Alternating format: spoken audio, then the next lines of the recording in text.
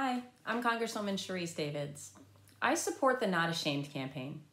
We have experienced a truly traumatic few years. More than ever, it's crucial for us to take care of ourselves, for you to take care of yourself, and for us to take care of each other. We must take the power away from stigma in order to move forward as a healthy, compassionate community. And we can do that together and not ashamed.